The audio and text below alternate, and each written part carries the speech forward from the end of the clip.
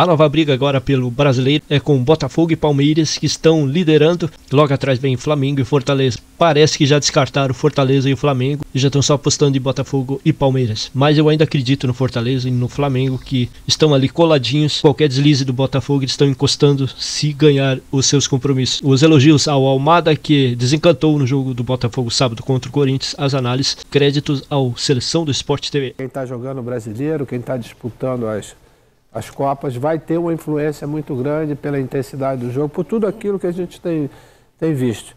E acho que colocando sete, oito pontos à frente dos outros, para você tirar é bastante complicado. Ainda mais que esses times estão desempenhando. Não é que está oscilando. Quando tem oscilação, você diz, ah, ali pode ganhar, ali pode, pode empatar, mas do jeito que está e do jeito essas duas equipes no final de semana vai ficar ruim para quem está lá atrás. Concordo com o maestro, acho que é a grande conclusão da rodada. E aí a gente olha para esse telaço e compara com o ano passado. O que, que mudou? O Palmeiras também conseguiu acelerar no Brasileirão quando foi eliminado das Copas, quando ele cai na semi da Libertadores, se dedica só ao brasileiro, atropela e busca o Botafogo. É, ao contrário do ano passado, o Botafogo esse ano está dividido contra a frente, está né? Tá disputando a Libertadores, mas o Botafogo está com muito mais elenco do que tinha em relação ao ano passado.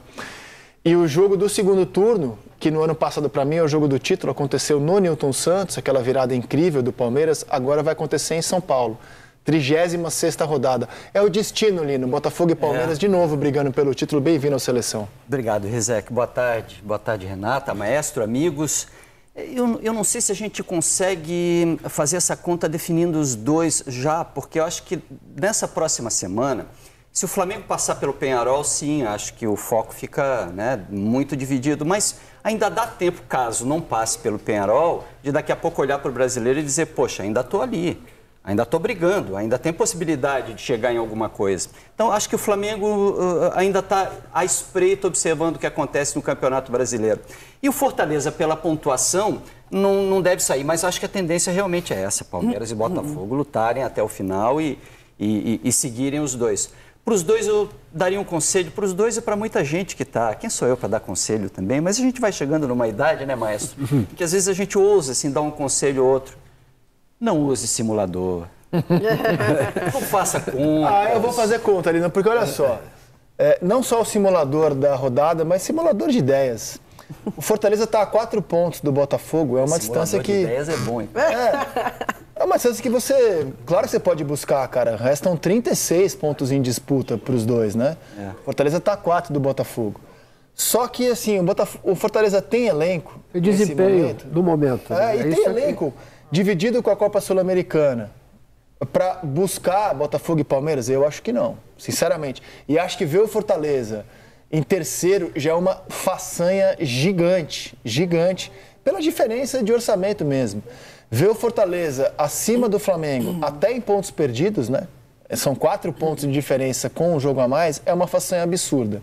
O Flamengo já está a oito pontos do líder, é, tem que pagar um jogo atrasado contra o Internacional, digamos até que vença. Ele fique a cinco pontos. É muita coisa para tirar. E o São Paulo meio que já respondeu que a prioridade dele é a Copa, né, cara? Sim, São, São, Paulo, Paulo foi com o time reserva ontem para encarar. Ganhou, um resultado extraordinário. Time reserva que jogou até melhor em alguns Não. momentos. Mas a prioridade do São Paulo está muito clara nesse momento, Sim. né? Então eu acho que o campeonato se desenha para Botafogo e Palmeiras. talvez possa subir e incomodar? É, o Bahia agora está em uma competição só. E tem um elenco bem interessante. Claro que não é comparado, assim, acho que em valências ao do, ao do Botafogo e ao do Palmeiras. E para mim, assim, o elenco do, do Botafogo está até melhor do que o do Palmeiras, assim, pelo, pela quantidade de opções. É, mas o Bahia agora focado em uma competição pode ser que também suba mais pontos, ali. Não, né? é muito ponto. Eu acho, mas eu acho que pode chegar a, de repente, um terceiro lugar e aí, dependendo das oscilações, né? Eu acho que o Palmeiras, nesse caso, está mais estável ainda, porque não só pela semana de treino, né? Que tem sempre uma semana cheia, mas pela gana dos jogadores. De, assim, o Abel não vai querer terminar esse ano assim, sem um título nacional barra internacional, porque já não tem mais, né? O Paulista ele já conquistou. Mas assim, eu acho que ele não vai querer abrir mão desse ano sem uma conquista grande, é, mais relevante até do que um estadual. Então eu acho que o Palmeiras vai seguir aí com a faca nos dentes. E aí, enfim, pro, pro Bahia, a realidade que é o objetivo do clube é classificar para Libertadores. Mas acho que tem mais fôlego agora para buscar um G4 e de repente tentar incomodar em cima. O Inter também, né? O Inter, ele tem três jogos a menos. Digamos que ele vença os três jogos a menos, ele encosta ali, cara, no G4. Né? Ele estaria. É, tem três jogos, não é verdade? O Inter tem três jogos a menos, se a gente puder colocar de novo a classificação. Digamos que ele vence os três jogos. É difícil, né? Mas digamos que ele vence os três jogos a menos, ele se igualaria ao São Paulo em pontuação. Então, assim, ele, ele encosta é, fortemente na parte de cima. Agora, eu não consigo ver o Inter tendo fôlego para buscar esses dois aí, Botafogo e Palmeiras. E a rodada do fim de semana, eu acho que mostrou isso claramente, né? O Corinthians fez um jogo bem bom, cara, contra o Botafogo no sábado. Mas não. Você é o líder do campeonato jogando em casa, com a Almada rodando aqui já os melhores momentos, com a Almada tomando conta da partida, né? É, esse talvez seja o grande diferencial do Botafogo em relação, inclusive, ao ano passado, né? De ter um jogador que faz a diferença nos momentos que o time mais precisa individualmente. Né? Porque aí você junta o lado coletivo, é, o Botafogo realmente faz uma temporada.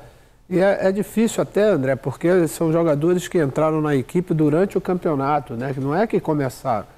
Quer dizer, você vê o próprio Vitinho, né, que estreou na lateral direita, parece que já estava jogando ali, alguns erros de, de entrosamento, esse tipo de, de situação, mas é, conseguiu dar conta do recado e pode jogar tranquilamente, sem, sem nenhum problema quando tiver, ou quando, quando, ou quando tiver, tiver fora do jogo. Né? Eu acho que esse é, o, é, é a grande diferença em relação do Palmeiras e Botafogo para as outras equipes. É a questão do, do equilíbrio, da regularidade, né?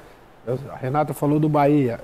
É, mas essa oscilação do Bahia em algumas situações é que não dá a gente a possibilidade de pensar da mesma forma como Fortaleza. É, se tivessem uma regularidade, naturalmente a gente poderia até acreditar. Mas acho que essa diferença de pontos e a regularidade dessas duas equipes, eu acho que, que faz, pelo menos, tudo bem, 12 rodadas são sempre 12 rodadas.